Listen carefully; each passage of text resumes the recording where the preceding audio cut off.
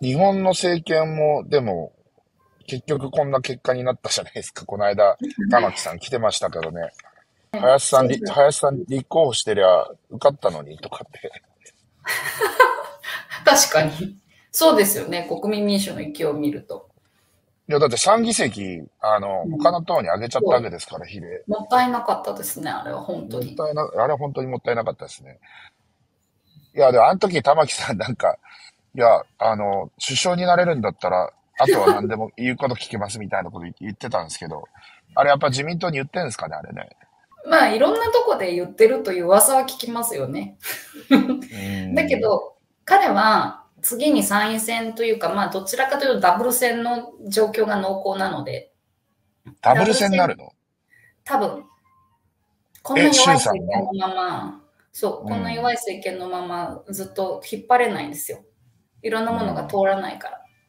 うん、で、そうすると、やっぱり石破さんが、まあ、どこまでやるかわかんないですけど、仮に参院選までってことでいくと、ダブル選で、ダブル選の前に交代論が盛り上がるのか、とも負けてから ゲアの可能性だってゼロじゃないですからね、自民党。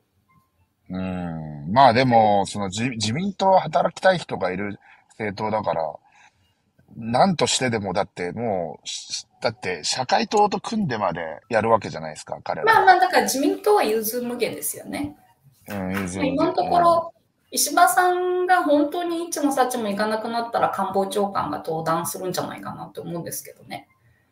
林さん。官房長官？林さんが行くの？林吉松さんは、もともと、まあ、ああいう、その、外見的にはやっぱ安倍さんほどスキッとしてないから、成功法で総理になるのは難しい人なんですよね。で官房長官からの繰り上がりって菅さんの時もそうでしたけど、やっぱり困った時の官房長官っていう洗礼ができている。うん。うん、ということは、その林さんがトップになって前上されてそのまま、うん、でもそれでは自民党勝てないですよね。まあでも、林さんはすごい安定感ありますからね。少なくともトランプと今外交、英語でできる人ってそんなにあの、英語ができないけどっていう人はいたとしても、安倍さんできましたからね、結構。トランプと二人きりでゴルフコース回りながら、何度も何度も打ち込みをしてたっていう話を、やっぱり聞きますからね。それができないと、つまり聞き取りができたある程度、片言でもいいから、言いたいことを言えないと難しいでしょう。うん、そりゃそうだ。いやー、でも、なんか、ということは、衆参同時選挙ってなると、また少数政党が力持ってくるんじゃないですか？あの、この前ちょっと、なんか昔の記事載せたんですけど、令和って未来の共産党なんですよね。立憲は令和に食われないで、中道のいいところをうまく取る取り続けるんですよ。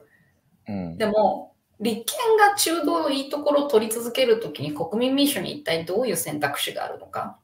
これはやっぱり玉木さん今回躍進しましたけど、次のダブル戦では、その自分たちの伸びしろの限界のところが見えてきますよね。1000万票ちょいなんですよ。だから希望の党が900何十万票でしょ。うん、で、維新がマックスで1000万ぐらいだから、やっぱり第3局に投じられる票っていうのは、その程度なんですよ。令和みたいになるわけにいかないし、かといって右のね、保守党みたいになるわけにもいかないし、国民民主は中道でいたいわけですから。まあだから結局私が思うに投票率が爆上がりして、その無党派層の票をブーム的にドンって取り込むしかないですよね。そう。それはでも単発の一回こっきりのやつですよね。で、うん、でも単発の一回こっきりで、首相に指名されると、それはそれででかいと思いますけどね、私は。民主党政権ほど強くない基盤だけど、うん、連立でいけるかもしれないですよね。誰と組むかのかによりますけど、自民党と組むっていうのはまあ一つ安定したスタイルでしょうね。まあでもやりたい政策はある程度通し通せるでしょうからね。そりゃそうだと思います。いやー、面白いなー。ちょっとなんか参加してみようかな。え？参加？参加出るんですか？いやいや、なんか、あのいや、こんな、こんな国民民主が躍進するんだと思ったのと、令和マジで危険だなと思ってて。そんな危険じゃないですよ。主張は危険かもしれないけど、うん。結局、そこそこ700万ぐらい稼いでる世帯だと、昔共産党に入れてた人が、もうマルクス主義どうでもよくなって令和に入れてるだけなんで、うん、これ性格で決まってるんですよ。ものすごいね、うん、日本人の投票行動って最初は安保で決まるんですけど、安保以外の要素ってほとんど性格なんですよ。どのぐらい現状否定的な怒りを溜め込んでるタイプの気質かとか、あ極端な気質を持つ人って日本人の中にはすごい少なくて。なるほどね。で、その左側が共産党に比例で入れたり、令和に比例で入れたりしてるので、まあ私は現状打破思考って呼んでるんですけどね。強い現状否定感情とか。日本で言うと、右下の証言にあたる経済自由主義的で、社会的にも自由主義的っていう人が支持する政党が今、安定的にいないんですよね、日本は。関西だと維新がいるけど。維新はね、関西においては、すごい、その、結果を出してるから、支持されやすいんでしょうね。うん、あの、吉村さんがね、もしかすると代表になるかもしれないですけど、吉村さんのその主義っていうのは明確で、要はお客様主義ってことなんですよ。うん、納税者はお客様でしょと。お客様に完全なサービス出すのは当たり前じゃないですか。それをより低コストで出すのは当たり前でしょっていう、まあ、すごく当然の発想なんですよね。で、これが、ね、もう少し大阪風味じゃない関東風味で首都圏でやれればよかったんですけどね。うん、まあ、それにはやっぱりどこかで知事とかを出さないと難しいですよね。だから小池百合子さんが、その、まだご創建でいらっしゃることによって、首都圏の第三極の可能性っていうのはそこに吸収されちゃってるわけですよね。じゃあ、例えば私が政党を作って何かをやるとしたら、どうしたらいいと思います？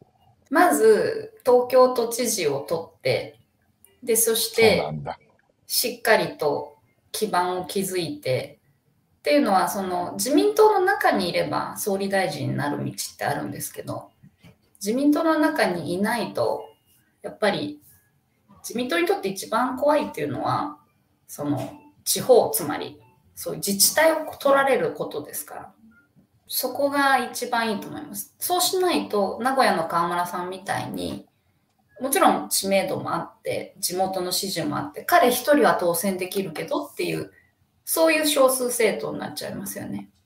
じゃあ、衆参同時選挙という予測で、うん、とりあえずどうですか？こ今回は誰で落ち着くんですか、今回の首相は。今回は石破さんを選出し、予算で野党にかなり主導権を譲り渡して、自民党を罰したい国民をある程度満足させ、でも物事が動かないよねとなって、おそらく外交で何点か失敗をし、引きずり下ろし論が高まった時にこうしきれずに辞任すると。で、林官房長官で戦うっていうのは一つのあり得るシナリオでしょうね。うん、で、国民民主は限界の1000万票になっちゃうと。でも1000万まで今回いかないと思いますよ。次は。だって今回期待値結構叶えちゃったんで、うん、これ以上行くには組織がまだできてないです。うん、維新は組織があるから。